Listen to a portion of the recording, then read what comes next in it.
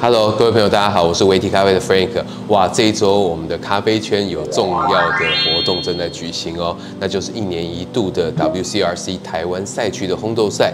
正在台湾咖啡协会如火如荼的举行。那在台湾呢，大约有百位的烘焙师呢，正在呢战战兢兢的在这三天的赛事当中呢，希望能够脱颖而出，取得佳绩哈。那说到烘焙这件事情呢，还有很多朋友呢，对于烘焙呢，可以是说只敢远观，不敢近万年哈。虽然有兴趣，但是不敢贸然的进入哈。今天就由我来跟新手朋友们来沟通一下，了解烘焙一定要先掌握五件事情。今天我们用的是是 Roast 这一台烘豆机，那它是北欧居家烘豆机的顶级设备。好，那我们来试一下。那它用的是一百一的电啊，它加热速度、暖机的时间呢非常快，只要两分钟，它就会达到基本的工作温度了。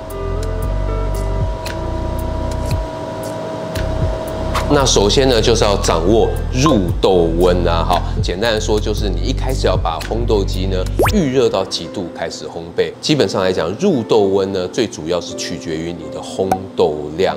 假设你是满锅的话，你可以照着厂商所建议你的入豆温来操作。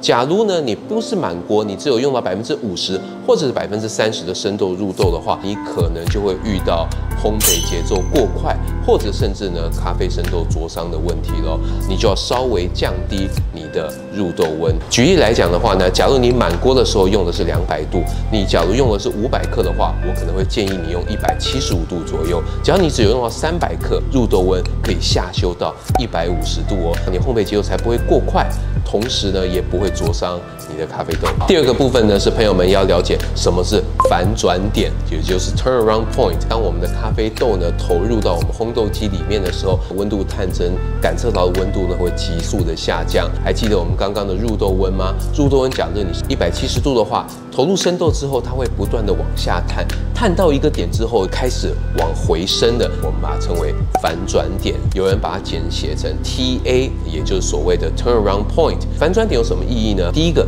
它是你烘焙的起点。我们都知道烘焙结束有一定的温度，对不对？那你的起点假如越低的话，你整个烘焙的路径就会更长，节奏会比较慢。一点有机会培养出咖啡更好的醇厚度、甜感等等的。假如你的路径是比较短的话呢，有机会可以培养出咖啡比较丰富的香气以及明亮的酸质。采取哪样的方式呢？当然就由各位朋友来测试一下，来决定你比较喜欢的风味是什么。第三个非常重要的呢，就是每分钟升温速率的重要性。在英文有个词汇叫 the rate of rise，所谓的 ROR。那这个是一个非常重要的指标，它关乎着我们咖啡豆呢是不是正常的。受热，一开始假设热度调节都不变的话，你会发现一开始的时候 ROR 会非常高，随着烘焙不断推进的话，ROR 会越来越小，越来越小，越来越小哈。那这个是咖啡豆呢在导热是很正常的一个情况。那相反的，假如你发现你的 ROR 是一个不断的推升的方式的话，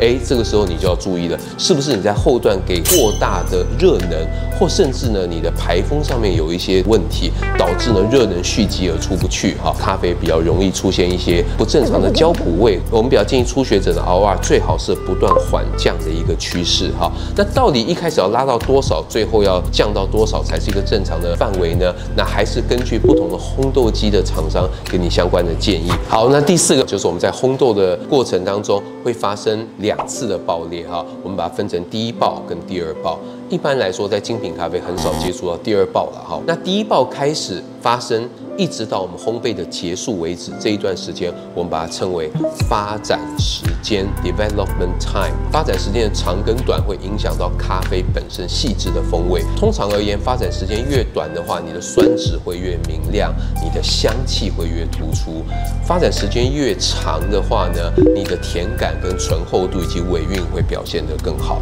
但是过短的话呢，会造成你烘焙可能整个熟度还不够，甚至呢会有一些酸涩味。好，那相对的，假如说你太过头的话呢，你会有不当的一个焦苦味。好，那发展时间到底是多少才是适当跟正常的呢？一般来说，约莫都在一两分钟左右。所以我建议你先从一二分钟左右来做测试，只要达不到你的预期，你再去做相关的修正、缩短或者是把它延长。那最后呢，就是什么时候该结束你的烘焙了？我会给各位朋友最好的建议就是，烘焙的结束先看温度。哈。那有没有一个指标给我们呢？有的，在我们 S E 的教育上面有一个很重要的概念，叫做中途点，所谓的 midway point。中途点是你烘焙一开始决定我们咖啡品质很重要的一个落点哈。那假如说你都不知道这支豆子的属性怎么样，我都建议在中途点下豆就可以了。中途点指的就是一爆开始的温度跟二爆开始的温度。加起来除以二，这中途点通常就是我们杯测用的一个烘焙度的点。OK，好，那以上跟各位朋友分享新手一定要了解的五个基本的一个概念哈，从我们的入豆温一直到我们烘焙结束哈，我其实非常建议玩家们有了咖啡机、有了手冲机之后呢，下一步呢就可以考虑做居家的烘焙了哈。希望呢今天的影片对各位朋友有一些帮助。那喜欢影片的朋友记得帮我们按赞、订阅、分享，并开启通知小铃铛哦。我们下部影片再见了，拜拜。